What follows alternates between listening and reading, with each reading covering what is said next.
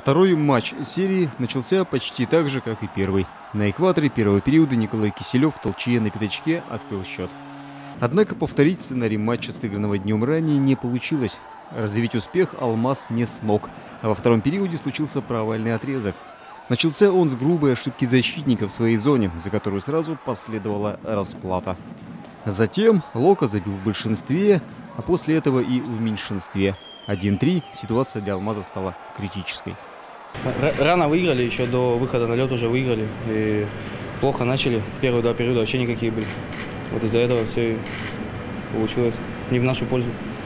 Но череповчане смогли прийти в себя, и за 30 секунд до второго перерыва Эдуард Гематов завершил выход двух нападающих хозяев против одного защитника гостей точным броском. Первое же удаление железнодорожников в третьем периоде хозяева смогли реализовать. Вновь отличился Гематов 3-3. Алмаз бросился дожимать соперника, но ярославцы дотянули до конца основного времени матча. А первая же атака гостей в овертайме оказалась голевой. Обидное поражение Алмаза 3-4.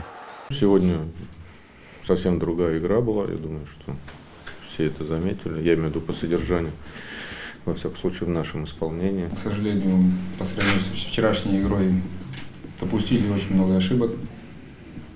Совсем не обязательно голы пропустили. Ну, по-настоящему, наверное, включились в игру в третьем периоде. Ну, с чем это связано, будем разбираться завтра. Счет серии стал равным 1-1, и команды переезжают в Ярославль. Все оставшиеся матчи, сколько бы их ни было, пройдут на площадке Лока. Ближайшая игра состоится 29 марта.